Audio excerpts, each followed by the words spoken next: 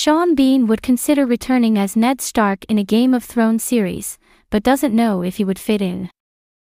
As Ned Stark, Sean Bean met his maker by the end of Game of Thrones' first season, but the actor is not opposed to returning to the franchise again in one of the planned spin offs.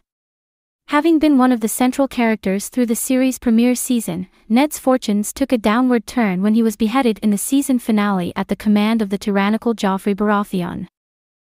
However, with the show now delving into prequel territory, Bean is aware that could mean an unexpected return for his character, and he would be more than happy to jump back on board. Hey guys, welcome to my channel, please don't forget to like and subscribe and also click on the notification bell to remain updated. Sean Bean is currently starring in new movie Knights of the Zodiac, and while speaking to Screen Rant about that project, it is only natural that conversation turned to his previous work on HBO's epic fantasy and what he would think about being part of it again. He said, I don't know if he'd ever be incorporated again. I'm not that clued up about the following. For House of the Dragon, I've heard it's really good, I'm going to try to see that, at some point. But yeah, it's always nice to think that you could be involved in some way in such a great series, something that became worldwide. I don't think at the time, we knew with Lord of the Rings how big that was going to turn out, and it was the same with Game of Thrones. If I'm ever asked again, it would be nice to be involved in some way. When Game of Thrones came to an end, there were around 10 options for potential spin offs being mentioned and potentially developed to keep the franchise alive at HBO.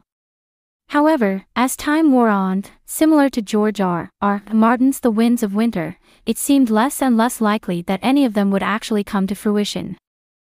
However, the arrival of House of the Dragon has spurred on a renewed interest in the Game of Thrones franchise, and that means some of those dormant spin offs are now being developed, including A Knight of the Seven Kingdoms, The Hedge Knight, with others such as an Aegon the Conqueror series said to also be in consideration.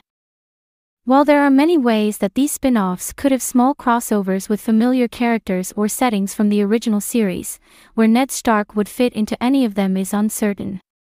Naturally, there are always plenty of ways to include flashbacks, preludes, and other scenes that could see Sean Bean bringing Ned back to life, but in the grander scheme, it is clear that the larger future of the Game of Thrones franchise lies beyond the story that already exists. That could mean that no matter how much Bean would love to be part of the saga again, it may be something that just wouldn't work in the context of the stories being told. Thanks for watching, please don't forget to like this video and drop comments. And most importantly don't forget to subscribe and hit the notification bell so you don't miss anything.